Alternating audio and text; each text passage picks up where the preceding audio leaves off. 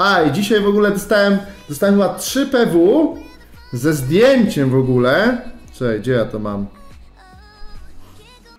Dostałem ze zdjęciem kurwa spod prokuratury, na którym nie łapie się fokus, ale normalnie to jest ulica Klonowa, czyli tam, gdzie jest prokuratura i na zdjęciu jest Marcin Dubiel i Julia Kostera. I podobno też była Natsu, ale nie widać jej na zdjęciu.